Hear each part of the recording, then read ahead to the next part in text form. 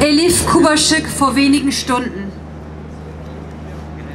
Vielen Dank an das Gericht. Vielen Dank, dass Sie mir einen weiteren schweren Schlag versetzt haben. Und zwar einen Schlag mit den niedrigen Strafen, insbesondere für Emminger und Wohllieben. Ein Schlag mit dieser Ermutigung, weitere Ermutigungen der Nazi-Szene, mit der ich mich in Dortmund fast alltäglich auseinandersetzen muss und der ich dort alltäglich in irgendeiner Form gegenübertreten muss.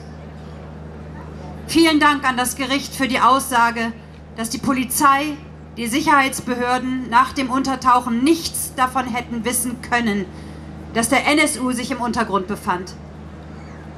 Vielen Dank auch für diese Aussage die mir unfassbar scheint angesichts dessen, was hier im Gerichtsverfahren und in den Untersuchungsausschüssen hervorgekommen ist. Ich, Elif Kubaschik, reagiere hier in vollkommenem Unverständnis auf diese Art des Urteils.